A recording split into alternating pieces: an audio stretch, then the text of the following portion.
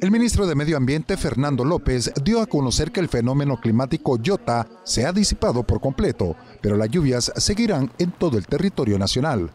Eh, Iota eh, se ha desconfigurado, ya no existe como tal, sin embargo sí tenemos los efectos. Eh, en este caso pues estamos monitoreando un par de bajas presiones y toda la situación que tenemos, toda la situación de humedad que pudiera venir desde el, el Pacífico en este caso. El ministro destacó que los departamentos de Chalatenango y San Miguel son los que más lluvias han recibido y esto puede generar deslizamientos de tierra debido a la saturación de agua en el suelo.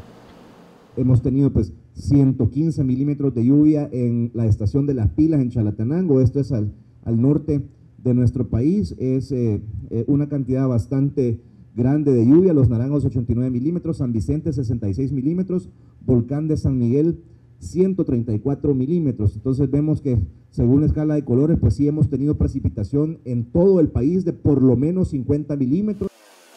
Las emergencias atendidas hasta la noche del miércoles son 21 árboles caídos, 9 viviendas afectadas en Morazán, Aguachapán y Chalatenango, 2 carcabas, 6 deslizamientos pequeños de tierra, 15 comunidades afectadas sin energía eléctrica por caídas de postes, y se han evacuado a 899 personas que viven en zonas vulnerables de manera preventiva.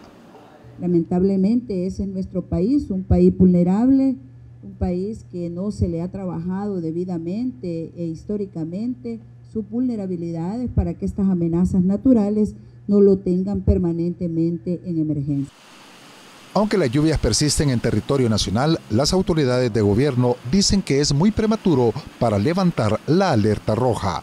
Hay zonas de alta probabilidad de deslizamiento, hay zonas donde el suelo está sumamente saturado, entonces no podemos nosotros eh, tener una alerta eh, total, digamos, ni de un color ni de otro para el territorio, sino que se tiene que parcializar el presidente de la Comisión Ejecutiva Hidroeléctrica del río Lempacel confirmó que de manera preventiva seguirán realizando las descargas por vertederos en la central hidroeléctrica 15 de septiembre.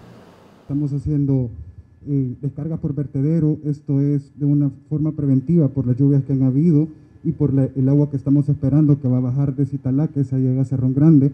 Eh, esto para evitar que tenga una, consecuencia en el, en el Bajo Lempa. Con el sistema de baja presión que se ha formado en las costas de Panamá, las autoridades de gobierno aseguran que seguirán vigilando su comportamiento durante los próximos cinco días, pero que por el momento no representa ningún peligro para el país. Además, destacaron que para el próximo 29 de noviembre se espera que el país sea influenciado por un frente frío. Edgardo Portillo, TCS Noticias.